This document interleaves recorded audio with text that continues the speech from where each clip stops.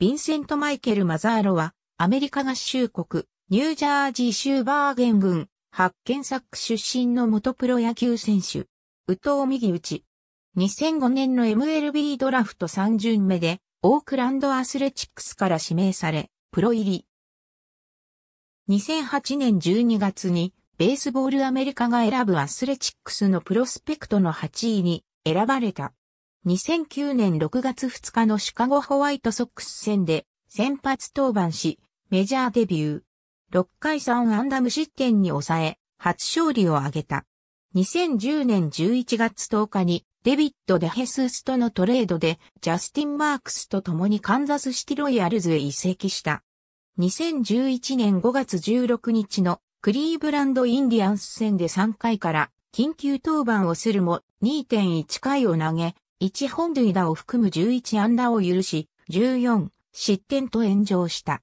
3イニング以内で14失点を許したのは1900年以降の近代野球での球団記録となった。リリーフ投手として自責点14点も1942年4月16日のボストンレッドソックス戦でフィラデルフィアアスレチックスのレスマクラブが記録して以来であり、マザーロは試合後、即刻マイナー降格となった。2012年11月20日にルール5、ドラフト前に40人枠のロースターを開けるため、ディーフとなった。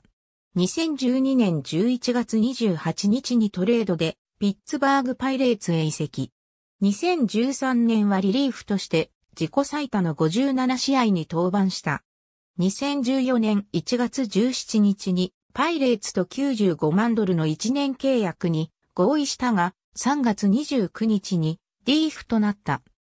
4月8日にトリプル A 級インディアナポリスインディアンズへ降格した。トリプル A 級インディアナポリス降格後は6試合に登板し、1勝0敗にセーブ、防御率0.00と高騰。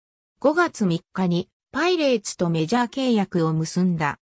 昇格後は5試合に登板したが、5月26日にディーフとなり、6月5日に40人枠を外れる形でトリプル A 級インディアナポリスへ配属された。オフの10月に FA となった。2015年1月21日にマイアミマーリンズとマイナー契約を結んだ。5月23日にメジャー契約を結んでアクティブロースター入りした。6月25日にディーフとなり、28日に自由契約となった。7月10日にアトランタブレーブスとマイナー契約を結んだ。オフの11月10日に FA となった。